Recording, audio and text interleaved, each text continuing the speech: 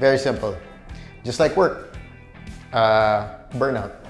There is that word, that problem that athletes, that people in the corporate world, anybody who's working, whatever industry, students for that matter, would face.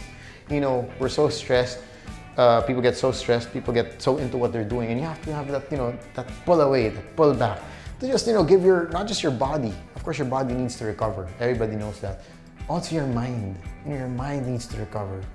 Your your energy needs to recover even if you're super bubbly every day, there has to be a pullback for you to just, you know, step back and just, hey, you know what?